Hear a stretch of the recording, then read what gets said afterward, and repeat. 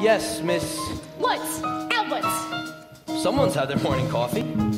Would you summarize the state of Indiana v. Hearn from your reading, please? Oh, I wanted to answer the puppy question. Really, nigga? But I'm asking you about the assigned reading. Okay. Who assigns reading for the first day of class? You have guts, Miss Woods. Miss Kensington,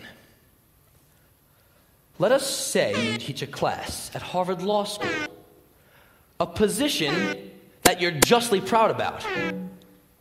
But a girl on whom you call hasn't read the case at all. Should you let it go?